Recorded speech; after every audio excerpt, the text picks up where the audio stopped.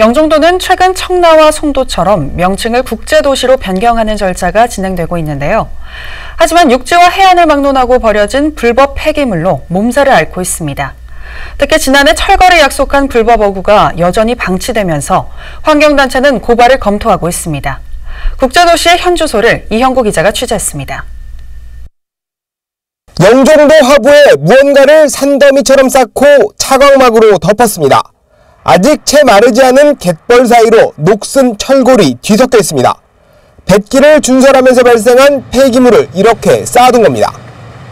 바로 옆엔 화물차가 방치되어 있습니다. 차량 내 외부가 심하게 훼손돼 오래전부터 이곳에 버려졌음을 짐작해 합니다. 하지만 번호판 영치 등 어떤 조치도 없었습니다. 주변엔 농기계도 버려져 있습니다. 보통 이 콤바인은 주로 벼를 베는 데 사용합니다. 그런데 보시는 것처럼 주변엔 아, 갯벌과 산뿐이고 아, 논과 밭은 없습니다. 아, 누군가 이곳에 가져가 버린 걸로 추정됩니다. 인천공항과 1km 남짓 떨어진 한 공터입니다. 오래전 버려진 가건물과 간이 화장실까지 각종 건설 폐기물이 버려져 있습니다. 침대와 소파 등 각종 생활 폐기물도 산더미처럼 쌓여 있습니다.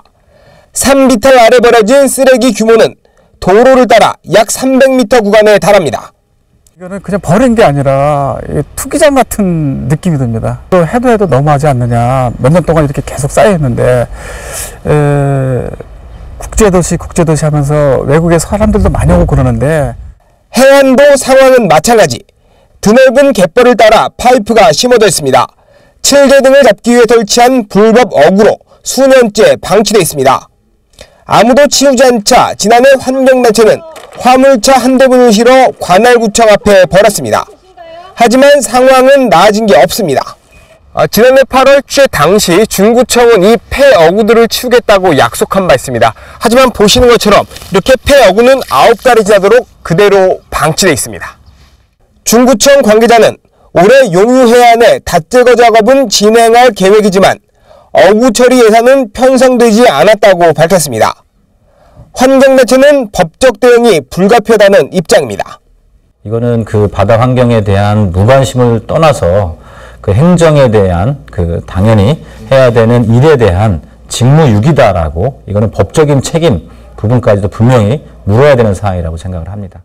영종도 쓰레기 문제는 제도 마련이 시급하다는 지적이 나옵니다. 해안 쓰레기는 해수청이, 육지 쓰레기는 중구청이 담당하는 등 여러 기관이 복합적으로 맞물려 있기 때문입니다. 인천지방해양수산청은 지난 2015년 이런 문제를 개선하기 위한 관계기관 합동 점검을 예고한 바 있습니다. 지자체와 해경, 환경단체 등이 격월에 한 번씩 합동 점검을 벌이기로 했지만 잘 지켜지지 않고 있습니다. 관계기관이 협조를 하고 정기적으로 회의를 진행하겠다. 이렇게까지 얘기를 했었거든요. 근데 아마 그 회의가 제대로 진행이 되지 않으면서 계속해서 영종도에 이런 문제들이 계속되고 있는 것 같습니다. 영종도는 최근 송도와 청라처럼 국제도시로 명칭을 변경하기 위한 절차가 진행되고 있습니다. 하지만 육지와 바다를 막론하고 곳곳이 쓰레기 투기장으로 방치된 상황.